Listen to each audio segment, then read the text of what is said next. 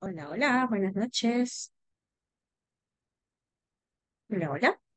Buenas noches, ¿Qué tal, Ana María? Gusto saludarla. gracias Hola, igual. bienvenida. Carlos Mauricio, bienvenido. Buenas noches, Lee, ¿cómo está? ¿Qué tal, qué tal Muy bien, excelente ya acá con un día más de jornada.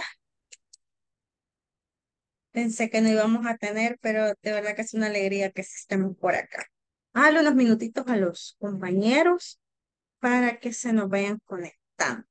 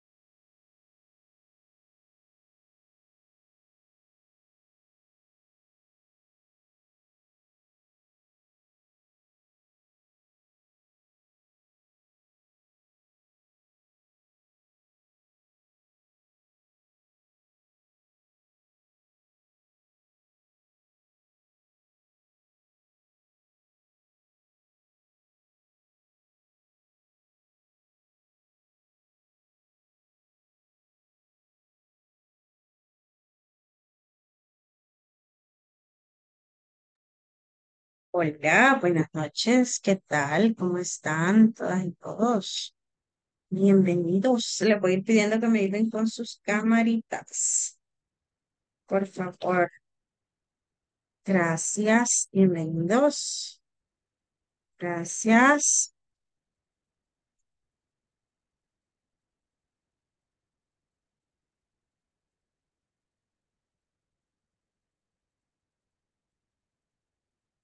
¿Qué tal? ¿Cómo han estado? A ver, bienvenidos. Solo estaba ahí notificando en el grupo que ya estamos iniciando. Hola, Alicia. Bienvenida. ¿Cómo está? Buenas noches. Bienvenida. Cesarito, ¿qué tal? Bienvenido. Ya vimos por allí a Carlitos. Tenemos a Catherine, a Blanquita, a María José, a Luz, a María. Alumnos, ¿qué tal? Vamos a iniciar. Eh, la verdad que como les digo, siempre es un gusto poder estar con ustedes, acompañarles en este proceso formativo. Sabemos que todos los procesos nos llevan a, a un nuevo aprendizaje y muchas veces esos aprendizajes eh, se vuelven un poco eh, interesantes y a veces un poco complicados cuando todavía no logramos aterrizar. Pero a la medida de lo posible vamos a ir tratando de seguir aterrizando en la metodología inbound marketing y esto pues nos va a permitir a todas y todos pues crear estrategias bien puntuales para que nosotros podamos aplicarlas ya sea a los lugares donde nosotros trabajamos o en su defecto en algún momento hacer una estrategia inbound marketing. Así para comenzar, necesito al menos cuatro participaciones de qué se recuerda que hemos venido aprendiendo. Cuatro participaciones. Es decir, que, ¿qué se recuerda del primer día? Alguien nos diga del segundo día, del tercer día y alguien más que nos recuerde del tercer día. Es decir, dos personas que nos recuerden del tercer día. Muy bien, ¿quién quiere comenzar? ¿O los elijo? ¿Los elijo o elige usted? Lo que se recuerde. Veamos, ¿quién comienza? ¿Quién comienza? Yo veo a Alicia con ánimo de comenzar, de romper el... Alicia, mire la ventaja que usted tiene. Puede elegir cualquiera de los tres días anteriores. ya, ya le dimos una ventaja a la compañera. en la clase pasada estuvimos hablando de lo que eran eh, la metodología para utilizar inbound marketing. Eh, estábamos hablando de lo que es el, proceso de la consideración, la decisión y eh, la post compra. ¿Cómo eso no? Bueno, eso era el recorrido. recorrido. El, recorrido, no para se preocupe.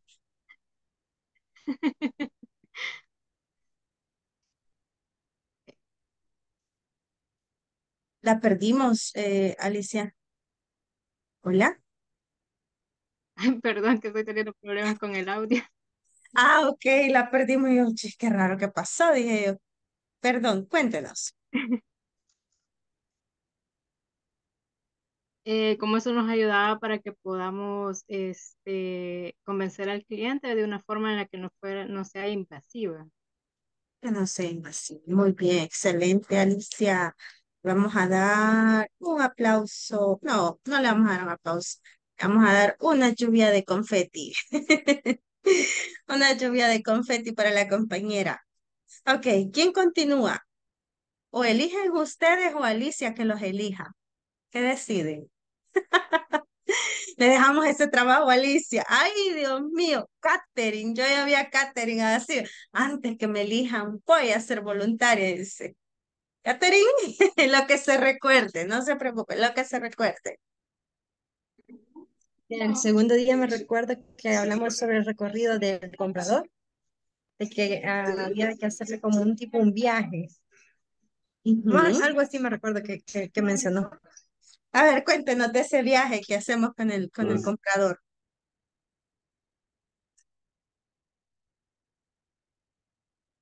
¿Qué se recuerda de ese viaje? ¿Qué se recuerda de ese viaje con el comprador? ¿Qué se recuerda de ese viaje? Ah, que era como crear la necesidad o buscar qué necesidad tiene el cliente. Ok, ¿qué necesidad Más o tiene? menos esa comunidad más. Muy bien. La idea que yo pude captar sobre Excelente. A ver, Catherine, se la vamos a poner difícil a usted. ¿A quién elige? Solo que Rafael creo que no estuvo la jornada anterior. Estuvo las anteriores.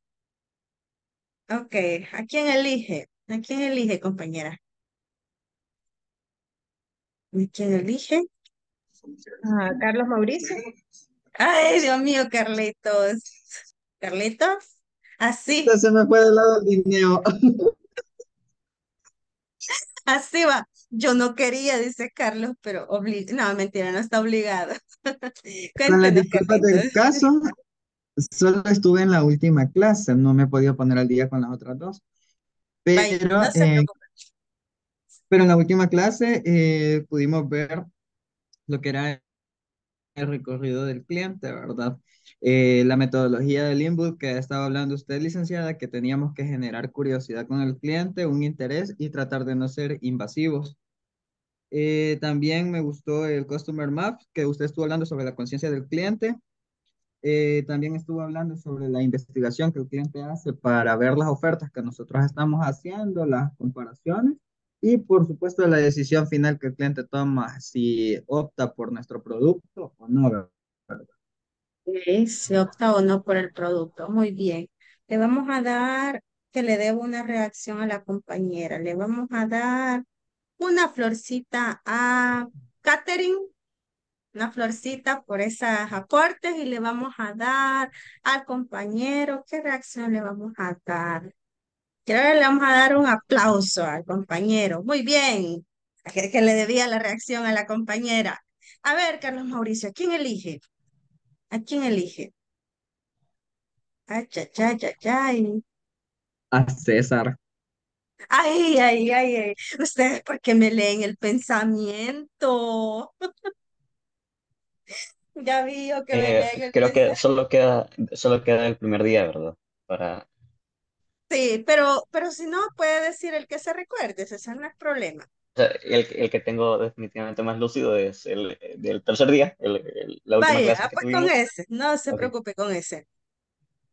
Ah, pues de que sí estuvimos viendo todo este tema en cuanto a cómo es que se tiene que llevar el, no me acuerdo cómo era el término correcto, pero el viaje del consumidor y de cómo es de que el inbound marketing lo que hace es de que llegar al público objetivo por medio de el medio que se elija. Claro, que también el medio tiene que ser el, o sea, a la hora de elegir el medio hay que hacer como un estudio, digamos, o tener esa reflexión de que es el medio que las personas que son de nuestro público objetivo ocupa para que esas personas comiencen ya a mostrar interés por esto y así eh, ya eh, generen la, ¿qué? generan la interacción, bueno, aunque no sería interacción, sino de que generen ya esta acción de, de escribirle o llamar a la persona que está vendiendo el producto para que así ya proceda a comprarlo. Ok, excelente. Lo que estuvimos viendo es el Buyer eh, Journal o es el recorrido del comprador. Eh, la mayoría están, se los hemos puesto en español para que sea más fácil de recordar. El, Buyer Journal nos permite hacer el viaje del comprador en entornos digitales e incluso les hacía el ejemplo de eh, que este mismo viaje o este recorrido se usa en Design Thinking, que es otra metodología que nos permite identificar todo el recorrido del comprador o del usuario y con ello pues también nos permite poder identificar mejoras al momento de. En entornos digitales lo veíamos a través de todo ese recorrido y lo voy a volver a compartir para que hagamos ese recordatorio para los que no estuvieron el día miércoles eh, de lo que estamos hablando y no estemos este, eh, perdidos, sino que ahora eh, estamos haciendo un breve repaso y dentro del viaje del comprador veíamos etapas bien importantes pero el cual está compuesta por tres, que veíamos que era la etapa de reconocimiento, consideración y decisión. Y que veíamos que en la etapa de reconocimiento es cuando hay una necesidad, cuando existe una oportunidad, y por ahí decían algunos compañeros, es el momento cuando nosotros le creamos una necesidad. Sí, cuando estamos creando nuevos productos, eh, si es algo que ya está, pues seguirle generando una necesidad o la importancia del por qué debería de consumir este producto. Luego veíamos la parte de consideración, que dentro de la etapa de consideración eh, hay otra eh, que están inmersas. Eh, la primera era la conciencia. Veíamos también la parte de la investigación y veíamos que en los entornos digitales los usuarios ya han investigado, ya han preguntado, ya han hecho su propio análisis de qué es lo que el producto o el servicio ofrece. Y lo veíamos que lo hace a través de las redes sociales, de los blogs, de la experiencia de otros compradores, con el afán de eh, saber si la experiencia que ese cliente o ese usuario ha tenido ha sido positiva o negativa y esto nos lleva a poder hacer este recorrido. Es decir, desde el momento que le hemos generado la, la necesidad, que es la etapa de reconocimiento, la consideración es cuando estamos en la etapa de que el cliente está tomando la decisión si nos compra o no nos compra, es decir, que ya somos parte de la opción y luego la etapa de decisión. Pero dentro de estas etapas eh, también hablábamos que está la etapa de post-compra. Y en la etapa de post-compra es la que está un pasito ah, después de haber tomado una decisión. Es decir, que nosotros tenemos que evaluar e, e identificar cuál ha sido la experiencia que el usuario ha tenido para que con ello, al momento de hacer este recorrido con el usuario, la experiencia del mismo sea agradable. Y la importancia de hacer este ejercicio era para poder nosotros saber cómo nosotros crear esa estrategia de inbound marketing. Porque si bien es cierto, nosotros hablamos de una estrategia de inbound marketing, pero deberíamos de seguir un paso a paso y eso es lo que nos vamos a llevar al momento de tener éxito. Y dentro de esto veíamos elementos que veíamos los tipos de contenido, los comportamientos, información que este busca. También veíamos que dentro del inbound marketing o de la creación de una necesidad, había que estar preparado con el tema del de SEM y el SEO. Y veíamos también el uso adecuado de las palabras y por eso era importante que nosotros tuviéramos claridad al momento de, eh, de establecer una relación con eh, nuestros usuarios. Ahora bien, después de ese breve repaso que hemos hecho en relación a, eh, antes de eso, estuvimos viendo también dentro de la semana lo que era la metodología, que es una metodología que no es invasiva, sino que es una metodología que nos lleva a poder eh, hacer atractivo una, un contenido, hacer atractivo un deseo para con nuestros clientes. ¿Por qué era importante tener claro eso? Precisamente porque eh, regularmente nosotros vemos publicidad que muchas veces no es de, no es de acuerdo a lo que nosotros tenemos. A ver, así desde que hemos empezado este proceso de formación, hola, hola, ¿están por ahí? Dios mío, ratito, los dejo y me apagan la cámara. ¡Qué barbaridad! ok, bien. Ah, ¿verdad? es que me siento solita. Yo sí me siento solita. ok, ¿cuántos de nosotros hemos visto o hemos estado eh, ahora que, que usted está conociendo un poco más del marketing, conociendo un poco más de las estrategias, ¿a cuántos de ustedes les ha llegado publicidad que no es de su interés? ¿Y qué tipo de publicidad ha sido? A ver, a sus redes sociales, que es lo más, lo más común que vemos. O en sus navegadores. ¿A quién? Toda la publicidad que les ha llegado es de acuerdo a sus gustos y preferencias. A ver, Carlitos, ¿qué, qué, qué información le ha llegado o qué productos les ha llegado? Aquí todos participamos y vamos a hacer hablar a, a, a, Ana María, a María José, a Blanquita, a Alicia, a Luz, porque dijo que está en el trabajo y no puede encender la camarita. Pero si nos ayuda también con sus aportes. A ver, Carlitos, ¿cuál ha sido la información que le ha llegado que usted dice, ¿por qué me llega esto a mí? De hecho, fíjese que hasta a veces la he borrado porque me llegan muchos anuncios de ventas de vehículos, que lo puedo comprar financiado, que lo traen, eh, que otra persona está financiando vehículos, entonces eh, son bastante recurrentes que me caen. Ok, anuncios de vehículos. Y también me llega, y también me llega, eh, bueno, de hecho eso sí, al correo me llega bastante publicidad de de páginas de empleo y cuestiones así. Quizás en alguna vez me metí como que eh, quedé registrado y me llega bastante publicidad de empleos también. Ok. Ah, ¿Ustedes vieron cómo funciona el email marketing en la, en la formación anterior?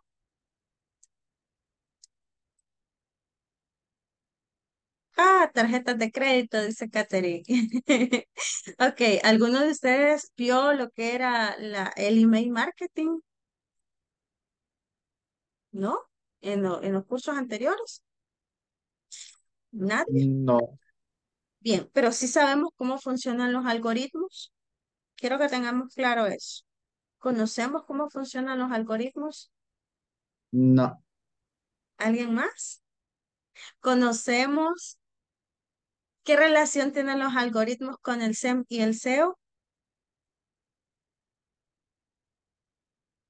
¿Nadie? Solo No, Rafael. Rafael. ¿Hola? Le digo que no, pero que estamos ansiosos por saberlo. Vaya. Ah, voy a retroceder un poquito para que cuando veamos la parte de la planificación la entendamos. Y por eso era que yo les hacía la pregunta en su momento. A mí me gusta que dentro de la formación eh, eh, incorporar, creo que es estigmatización, es segmentación. Estigmatización es otra cosa que es, e, e, estigmatizar es, o, o, o mm, ay, ¿cómo se, estereotipar es cuando decimos también, ay, una persona pues es rubia, no es inteligente, me, me explico con eso, estigmatizar es otra cosa. Pero me entendió. Sí, sí le entendí lo que, eso es lo importante. ok, bien. Antes que, que, que nosotros, eh, lo primero que debemos saber es cómo funcionan los algoritmos y la relación con el SEM y el SEO. Los algoritmos no son nada más ni nada menos que las palabras claves que nosotros utilizamos. Ahora bien, ¿qué relación tiene una cosa con la otra? Cuando usted está en su red social, Muchas veces eh, nos preguntan qué tipo de intereses tenemos, complementemos información. Los que en su momento abrieron su cuenta de TikTok, les apareció un listado de qué tipo de intereses tenía y usted le dio sí a todo o le dio a unos cuantos. Cuando abre cualquier aplicación, usted le dice algunos intereses que tiene, porque como todavía somos nuevos que nos estamos relacionando el, el usuario, la aplicación, lo mismo sucede con nuestros navegadores, con nuestras eh, eh, plataformas, con nuestras redes sociales. A mí me causó gracia que en plena pandemia alguien salió y dijo, ay, nos escuchan, eh, nos están grabando, etcétera. Y wow. Yo les cuento una anécdota. Y yo, estamos hablando de hace varios años, estaba todavía en básica cuando yo recibía clases de programación y a mí me dijeron, mira, aquí está este eh, programa, pero léete las políticas. Desde entonces, donde leí todas las películas que tenía iTunes en su momento, entendí que había que leer.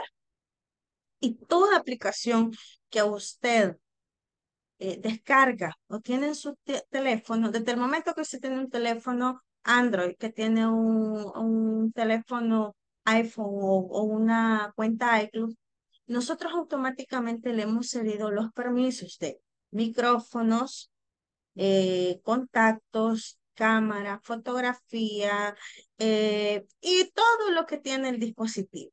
Y ahora se dice, ¿qué tiene que ver esto con inbound marketing? Tiene muchísimo que ver, porque nuestros dispositivos rastrean, identifican y conocen todo lo que nosotros hacemos. Es decir, que no hay nada oculto. Entonces, al no haber nada oculto, toda la información que se recopila a través de los dispositivos está siendo almacenada en bases de datos, llámese estas redes sociales como Facebook, eh, Instagram, también recopila información de WhatsApp, entre otros. Si estamos en un navegador de Google, toda esa información se va para Google Ads y toda esa información se vuelve algoritmos. ¿Qué significa eso? Palabras que nosotros buscamos se relacionan a. Entonces usted dice de repente, a lo mejor usted no estaba buscando empleo para, para usted, pero a lo mejor alguien le dijo, fíjate que, que me he quedado sin trabajo o algo esas ya se vuelven palabras claves, ya se vuelven parte de los algoritmos. Entonces, cuando de repente nos aparece publicidad de vehículos, de repente nos aparece publicidad de cosas que nada que ver con nosotros, pues probablemente sí. Y usted dice, eh, ¿cómo es posible si eso yo lo conversé con alguien más? Y es porque nosotros hemos cedido los permisos. Ahora bien, la relación que esta tiene y la importancia de la misma es que cuando nosotros creamos una estrategia inbound marketing, es importante que nosotros sepamos y creemos en palabras adecuadas. Es decir, que si yo voy a hablar de zapatos deportivos, no voy a poner tacón alto, ¿verdad? O no voy a poner eh, playa. No, no sé si me voy a entender con eso. O, voy a poner, por ejemplo, zapatos de montaña y a la hora de las horas, este, lo voy a relacionar todo con, con piscinas, por ejemplo, lo voy a relacionar con helados, o sea, nada que ver. Ahora bien, cuando nosotros hacemos una estrategia inbound marketing, es importante saber cuál es el tipo de palabras claves o keywords o SEM que vamos a utilizar o sí o que nosotros vamos a aplicar. Porque si nosotros venimos y esperamos a que el mismo algoritmo nos lo haga, probablemente nos va a sugerir, pero no va a ser el más adecuado para la necesidad que nosotros estamos teniendo en ese momento. Entonces, al momento que nosotros estamos haciendo eh, nuestra estrategia de inbound marketing, sí es importante que tengamos claro y por eso es la forma que funciona un algoritmo al momento que nosotros estamos eh, haciendo nuestros, eh, nuestras campañas o nuestras estrategias. ¿Preguntas hasta acá, señoritas y caballeros? ¿Preguntas? ¿Mm? ¿Sabes qué puedo preguntar yo? A ver. Ajá. ¿Preguntas? Ana María. Ana María. Ok. Bueno, tengo dos Ana María. Ana María Carías y Ana María Martínez. Ana María Martínez. Hola. Dios mío santo, se me fueron otra vez. Ok. ok. Bien. Hola, Ana María. ¿No la escuchamos? Me ha abierto el micrófono, pero no. Quizás sea problemas de audio, compañera. Bien, vamos a seguir avanzando. A ver, así rapidito, ¿cuáles creen que sean eh, los elementos que se deben considerar al momento de planificar una estrategia para inbound marketing? ¿Cuáles crean que sean los eh, elementos que debemos de considerar? Hola, ¿quién me ayuda? Los escucho y las escucho. ¿Qué elementos creen que sean importantes o necesarios al momento de crear una estrategia para nuestro contenido de inbound marketing? ¿Mm? Rafael. Rafa. Hola, hola. ¿Qué elementos considera que sean importantes al momento de crear una estrategia de inbound marketing? ¿O qué pasos? podría ser una buena segmentación al público que queremos llegar. Una buena segmentación al público que queremos llegar. Muy bien. ¿Alguien más que nos aporte y nos sume a lo, a lo que nos dice el compañero? Vaya Ana María, la escuchamos, compañera. Gracias, Rafa. Ok, ya le voy a hacer más preguntas. No, perdón, es que no, no sé por qué no puedo activar el, no puede activar el micrófono, perdón, no pude contestarle. Vaya, no se preocupe, pero ya en casita. ¿Ya en casita, Ana María? Sí, ya, ya. Ah, vaya. A ver, ¿qué tipo de pasos o qué elementos debemos considerar al momento de crear una estrategia para inbound marketing? ¿Qué elementos serán necesarios o importantes? El buyer persona. El buyer persona, muy eh, bien. Eh, las, los intereses de las personas, eh, la, para saber el, en qué medio o digamos en qué red, ¿verdad? O en qué, con qué red, o sea, por qué, qué, qué metodología, ¿verdad? ¿Qué red social? Ok, redes sociales, por ejemplo, ¿qué tipo de intereses? La palabra sería el canal. Ok, ¿qué tipo de canales le interesa? Muy bien, excelente. Bien, vamos a hacer un ejercicio ahora, porque vamos a hacer una, una práctica. Y eh, vaya, Ana María, no se preocupe, Ana María Martínez, no se preocupe. Eh, vamos a hacer una pequeña práctica eh, en la cual nosotros definamos nuestra estrategia a, a largo plazo. Pero antes de eso vamos a conocer elementos que debemos de tener en consideración. Dentro de los elementos para planificar una muy buena estrategia a largo plazo, lo primero, y es lo que les dije al inicio y se lo voy a, a decir durante toda la formación, es establecer los objetivos. ¿Qué tipo de objetivos deberíamos de establecer? ¿Quién me ayuda? ¿Qué tipo de objetivos deberíamos de establecer? ¿Alguien se recuerda? ¿Qué tipo de objetivos se debería establecer? Eh, yo creo que, eh, por ejemplo, los objetivos que podemos hacer es, eh, ¿cómo sería? Aumentar el número de, bueno, tengo, tengo entendido como tienen que ser concretos, podría ser aumentar, el, aumentar las ventas en un 20%, creo que podrían ser. Ok, aumentar la venta en e igualmente, como aumentar la presencia en redes sociales Ok, presencia en redes sociales, muy bien. ¿Qué otras cosas? ¿Cómo debería ser eso, o establecerse? Hola. Posicionamiento de marca. Posicionamiento de marca. Muy bien, esas serían como la base que nosotros queremos lograr. Ahora bien, la definición de objetivos, no sé si lo, lo vieron, pero la definición de objetivos para la creación de un objetivo para nuestras estrategias de inbound marketing o todo lo relacionado a marketing deberían estar bajo el método SMART. ¿Alguien sabe qué es el método SMART? Que tiene que ser medible, alcanzable. Muy bien. Un tiempo determinado.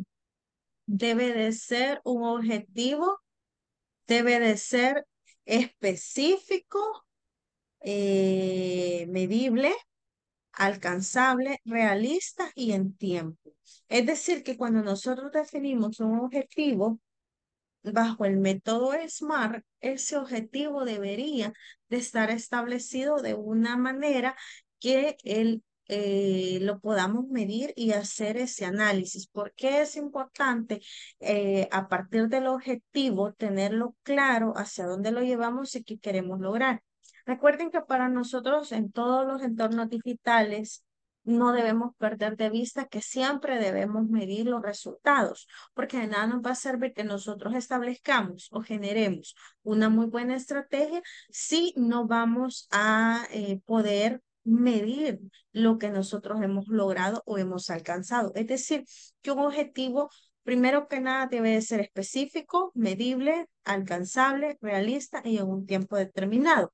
Ahora, por el tiempo, no les voy a poder enseñar a hacer ese, ese tipo de objetivos. Sin embargo, el lunes voy a procurar tomarme unos minutitos para podérselos explicar un poquito más detallado y que esto nos permita también eh, hacerlo de una manera más puntual. El siguiente paso para establecer una estrategia de, de inbound marketing a largo plazo es conocer a la audiencia. Por ahí decía la compañera, este, conocer al buyer persona, creo que decía. Es decir, que nosotros debemos de conocer a la audiencia. Es decir, si no la conocemos, entonces es ahí donde nosotros generamos también o podríamos generar un deseo o una necesidad a un público objetivo. Ahora bien, no podemos pensar que vamos a generar una estrategia, por ejemplo, se me ocurre, sé que no es el caso, pero eh, por ejemplo, si nosotros estuviéramos vendiendo productos para bebés o recién nacidos, ¿creen que la audiencia que no tiene hijos sería un público adecuado?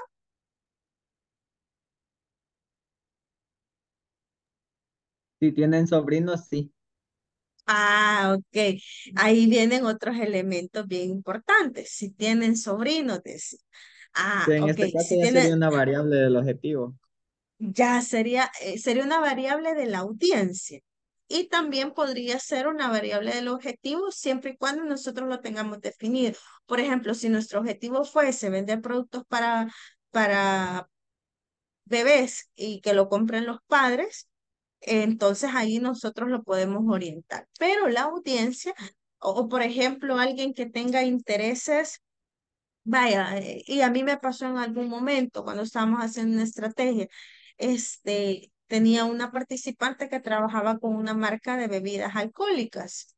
Entonces, eh, un público que, que le es interés a la, a la marca son las personas que tienen intereses por bebidas alcohólicas, no por las que no lo tienen. Entonces, el hecho de conocer a la audiencia, o por ejemplo, hay otros intereses, por ejemplo, intereses en maquillaje, por, por mencionar uno, por mencionar uno de tantos diferentes tipos de interés van a ser eh, variables determinantes para nuestra audiencia que nosotros queremos llegar, es decir, el segmento que nosotros nos interesa. Luego tenemos creación de una estrategia de contenido. En la creación de una estrategia de contenido eh, se refiere a qué tipo de plataforma vamos a utilizar. ¿Será que usted va a utilizar email marketing? ¿Será que usted va a utilizar este, redes sociales? ¿Será que usted va a utilizar su eh, portal web? Ahí va a depender qué tipo de audiencia es la que tiene versus qué tipo de estrategia de contenido. Por ejemplo, si trabajo en una ferretería, probablemente mi audiencia sea de Facebook o probablemente mi audiencia sea una audiencia que prefiera visitar mi página web o en su defecto una aplicación que ya tengo. Entonces ahí va a depender de qué tipo de audiencia. Y esto está relacionado al tipo de contenido que nosotros hacemos. Por ejemplo, ¿será que si yo vengo y le describo un producto hacia puro texto, a un segmento entre 18 y 24 años le va a ser atractivo a este segmento, a esta audiencia? ¿Le será atractivo un texto de un producto?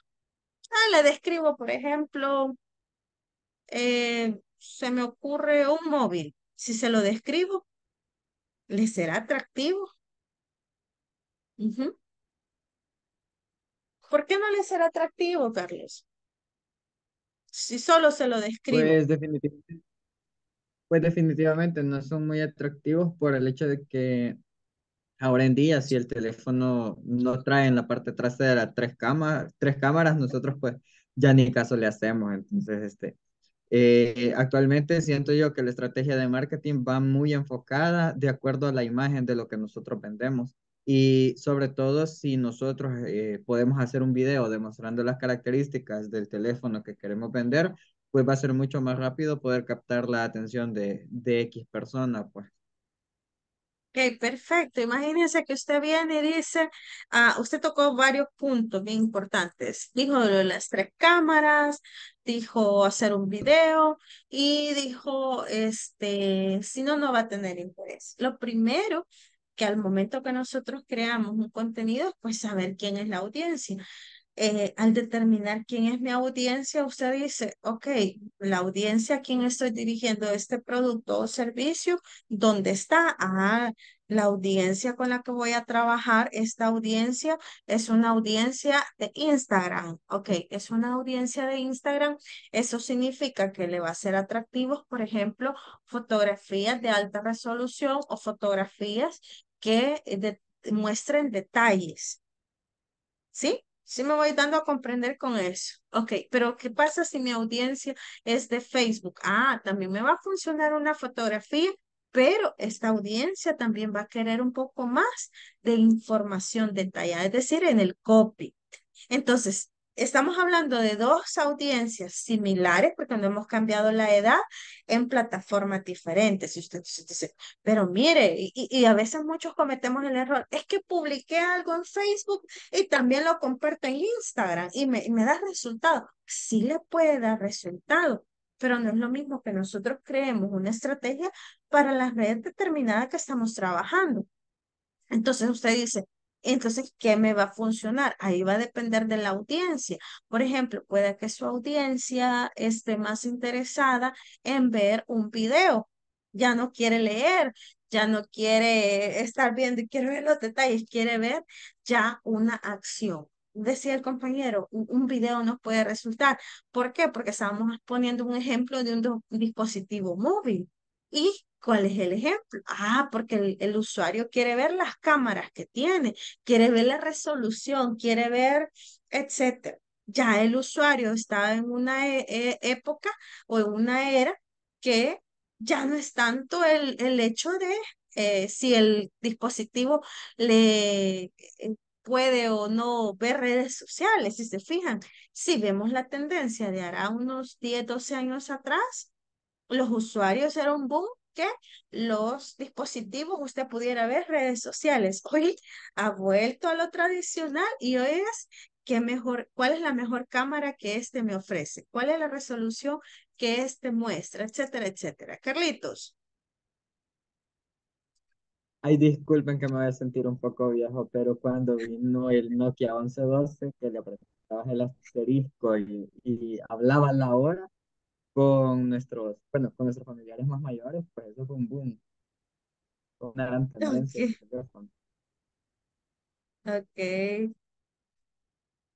Ahí va, ahí, este, imagínense que en ese caso, vaya, en ese momento, eh, era el tipo de audiencia con la que estábamos trabajando.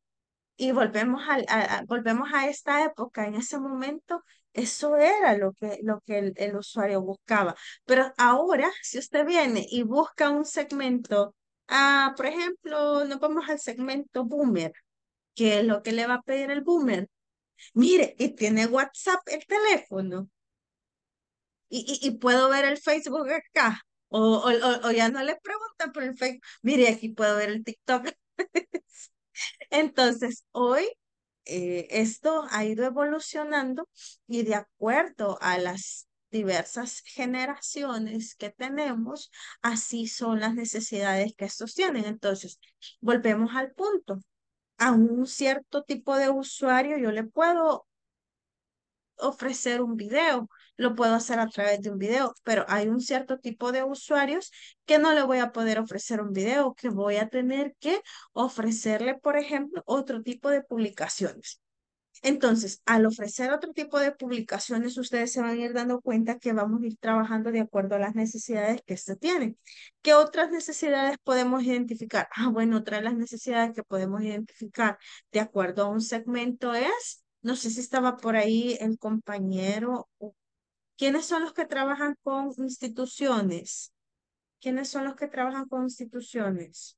O, su contacto es más institucional. Carlos Mauricio. Eh, usted dijo de lo de los productos de limpieza, ¿verdad? Sí, sí, ¿verdad? ya, ya, casi me lo aprendo. ok. En el caso, probablemente a las instituciones o a las empresas o a las instituciones les sea eh, interesante ver un video en Facebook, pero se va a interesar más cuando usted viene y le envía información por correo electrónico. Entonces, aquí viene la segunda parte. Cuando nosotros hablamos de email marketing o hablamos, por ejemplo, de em, una estrategia de inbound marketing a través de email marketing, la estrategia de email marketing la podemos hacer, eh, la podemos hacer inbound marketing. Así, ya, para no hacernos tanta bolita. Cuando usted por ahí veía unos comentarios que decían, a mí me caen, decía, mensajes del banco.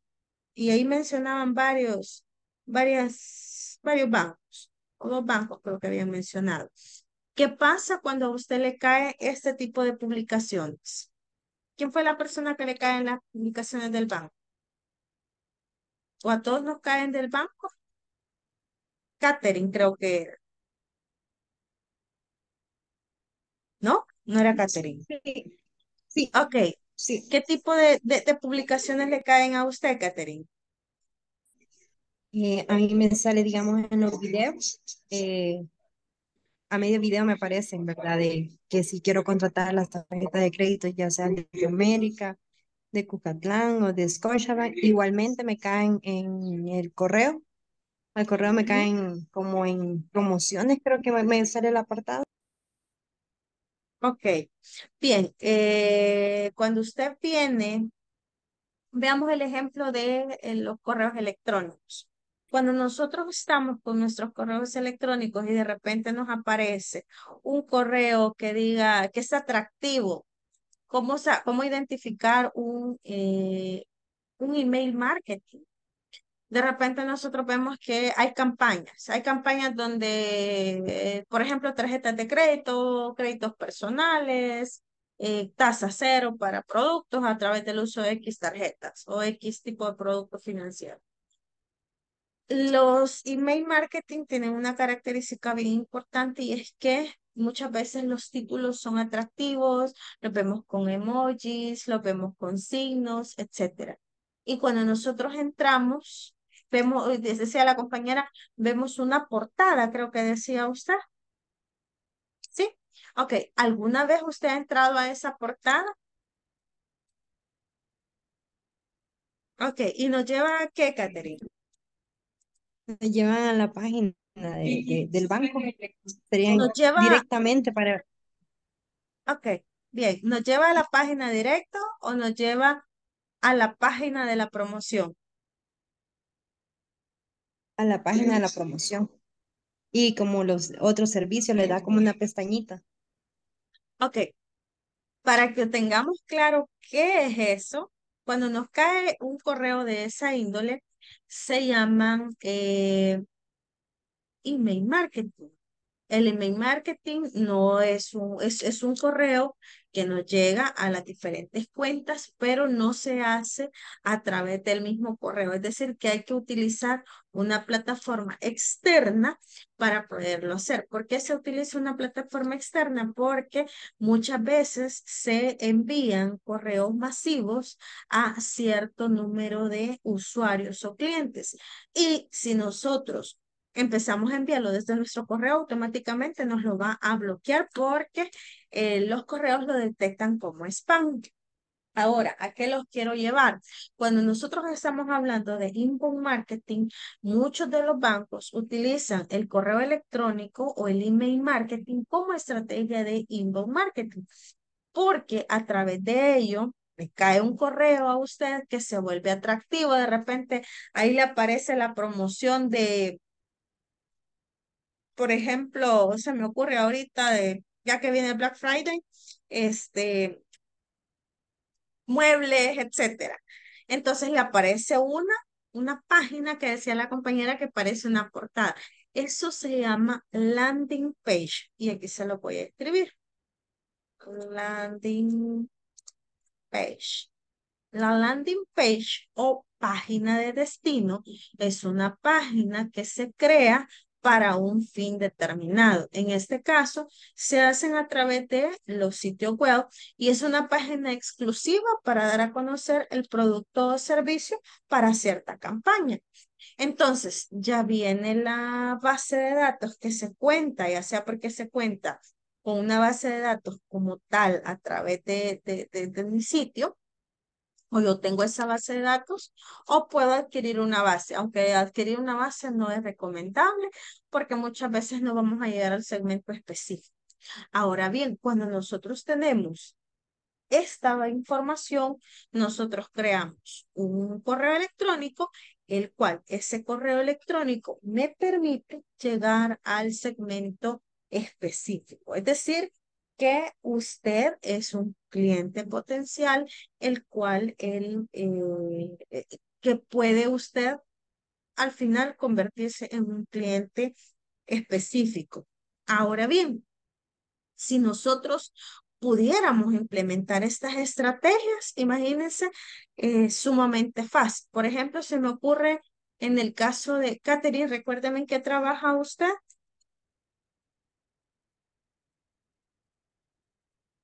Catherine. Hola, Catherine. Recuérdeme en qué trabaja usted. Hola. Hola. Recuérdeme en qué trabaja, Catherine. En una oficina jurídica, no, no había escuchado que a mí me hablado. sí, en una oficina jurídica. Por ejemplo, en el caso de la oficina jurídica, pudiéramos, se me ocurren dos buenas estrategias de eh, inbound marketing. Una estrategia podría ser a través de los clientes que ya se tienen con la base de datos que ya cuentan ustedes. Me imagino que cuentan con una base de datos. Con esa base de datos podríamos, por ejemplo, eh, hacer una estrategia de fidelización en la cual durante los meses tal y tal, eh, noviembre o diciembre, eh, si, si su cliente le lleva un nuevo cliente, para cualquier trámite le va a hacer un X por ciento de descuento. Se me ocurre por, por pensar algo, con el afán de tener nuevos clientes. O podría ser que dentro de, de esta estrategia podríamos pensar que la podríamos hacer a través de redes sociales. Una estrategia de inbound marketing podría ser los servicios que ofrece la oficina. En el caso del compañero Mauricio, que son productos de limpieza industrial, una estrategia que podría utilizar o, o hacer de inbound marketing podría ser a través de email marketing y a través de redes sociales. También la podría incorporar a través de Google Ads. ¿Por qué a través de Google Ads? Porque este segmento es más, aún más amplio para poder llegar a ciertos mercados que nosotros tenemos. Entonces, ¿Qué le quiero decir con todo esto? Para cada caso va a ser diferente. Por ejemplo, en el caso de la compañera, creo que es Ana María, la que trabaja en un supermercado.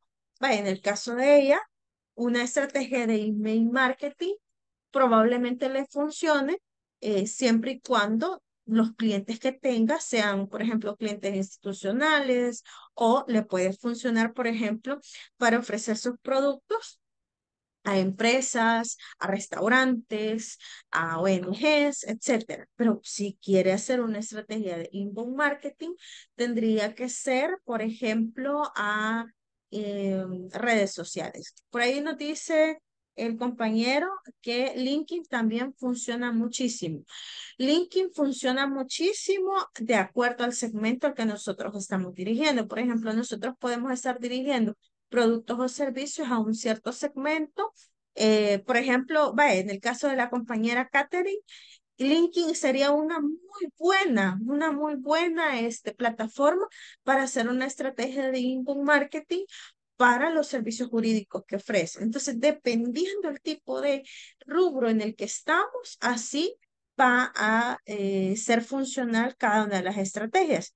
Por ahí pueda que hayan compañeros que su, su mayor potencial de estrategias estén orientados a redes sociales y pueda que hayan compañeros que su mayor potencial esté, por ejemplo, en LinkedIn o pueda que esté en Facebook o pueda que esté en, email marketing. Pero ahí depende del segmento en el que nosotros estamos. Y hay segmentos que me van a decir, mire, a mí definitivamente Facebook no me funciona, me funciona más eh, Instagram, porque funcionan de acuerdo a la categoría en la que estamos hablando o de acuerdo a la, a la plataforma, porque así es el segmento al que nosotros nos dirigimos. Por eso es importante que cuando nosotros estamos estableciendo nuestros tipos de audiencias, pues esas audiencias o esos segmentos a quienes nosotros nos vamos a dirigir, tengamos claro cuáles son eh, o quiénes son. Porque si nosotros venimos y solamente hacemos una publicación solo por publicarla, definitivamente Ok, dice la compañera, me he fijado que últimamente utilizan TikTok para dar datos informativos en cuanto al rubro de servicios. En cuanto a TikTok, la plataforma es muy buena para captación de leads. Los leads, ¿saben qué son los leads? ¿Saben qué son los leads? Ok. Los leads son esos clientes potenciales.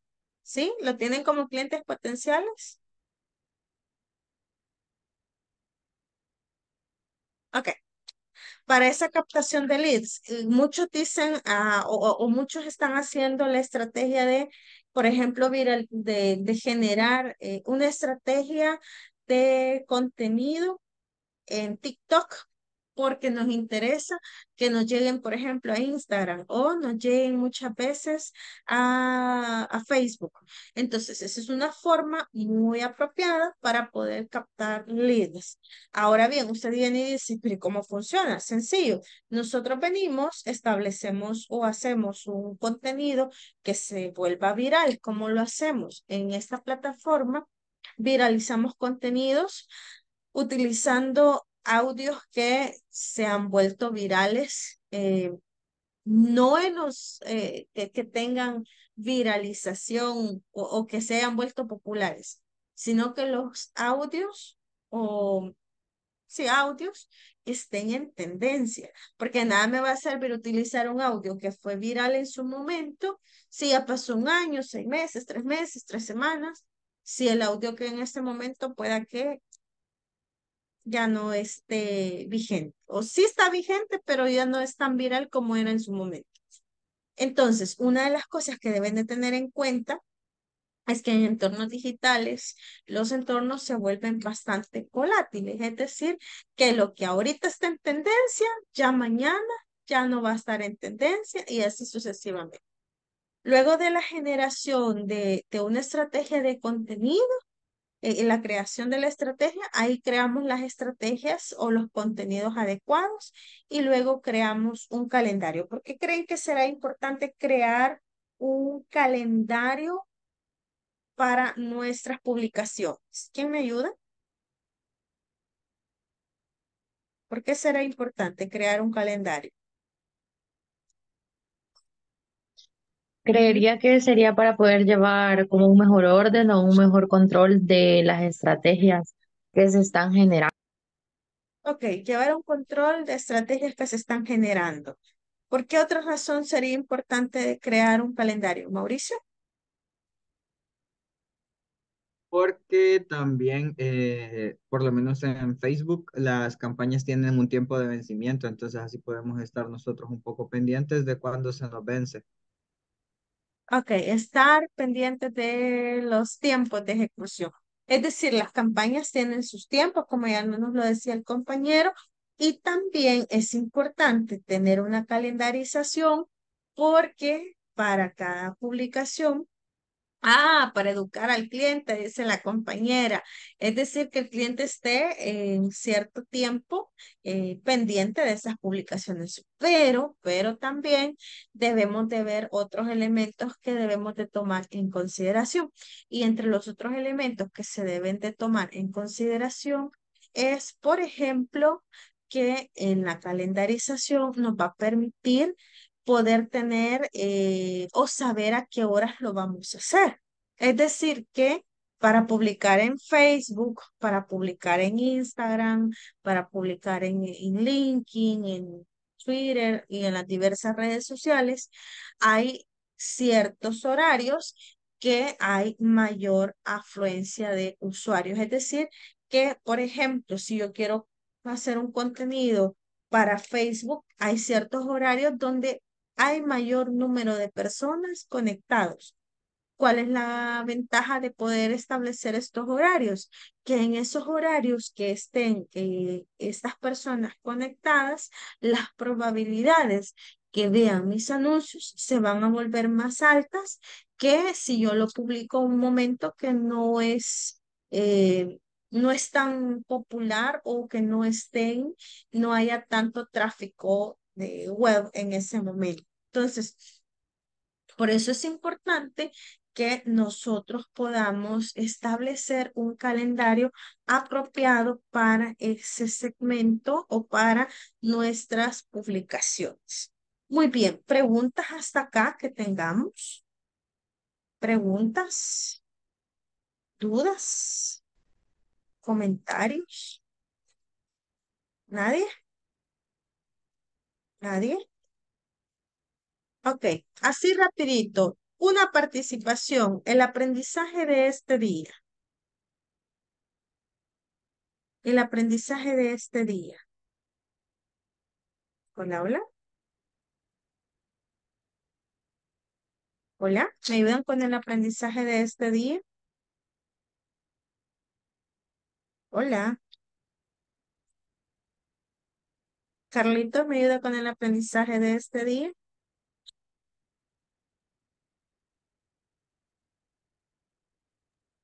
Hola, ¿me escuchan? Sí, ahora sí. Eh, perdón. Eh, para, estuvimos hablando de la estrategia de la planificación de contenido a largo plazo, ¿verdad? Eh, estamos hablando de que es fundamental mantener una presencia sólida y consistente en, en, la línea, ¿verdad? Establecer nuestros objetivos, sobre todo si son mediante el método SMART, eh, para poder tratar de que los objetivos sean alcanzables, realizables y que estén en tiempo, ¿verdad? Eh, también conocer y eh, segmentar la audiencia a la que nos queremos dirigir y pues observar en qué red social nos podría funcionar mejor nuestra campaña. también nos estuvo contando un poco acerca de las landing page que utilizan este, las estrategias por medio de correos electrónicos y creo que fue un aprendizaje adicional a lo que sería el, el curso en este momento, ¿verdad? Y pues sobre todo, eh, algo de lo que sí tomé mucha nota es sobre la calendarización que usted nos estaba comentando, ¿verdad? Para poder tener nosotros, eh, basarnos en los objetivos que nosotros tenemos ya asociados a la campaña y poder buscar un momento clave para poder tener una mayor audiencia y que nuestros anuncios eh, puedan tener un mayor impacto en ese momento. Muy bien, excelente. Voy a procurar que eh, la próxima semana en un espaciocito poderles eh, compartir una breve calendarización de eh, los horarios que serían, que son los más apropiados para poder hacer publicaciones. gracias, Luz. Nos dice educar al cliente, cómo conocer a la audiencia también el aprendizaje de la compañera el cual nos va a permitir poder como identificar horarios más apropiados y que estos horarios pues eh, nos permitan tener ese alcance y sabemos que ese alcance eh, se convierta, ¿verdad? En, en una acción, que ese aprendizaje, que, perdón, que, esa, eh, que ese alcance se convierta, por ejemplo, en un nuevo usuario, que se convierta en un lead, que se fidelice. Ahí va a depender el tipo de objetivo que nosotros tenemos. Muy bien. En relación a todo eso, pues nos estaríamos viendo el día lunes, eh, siempre ocho en puntito en la participación. Por ahí las compañeras les habían publicado que tratemos de avanzar con todas las actividades y si podemos avanzar con las de la siguiente semana, todavía aún mejor. Así que nos vemos el lunes y descansan. Feliz fin de semana. Gracias, Feliz fin de semana. Adiós.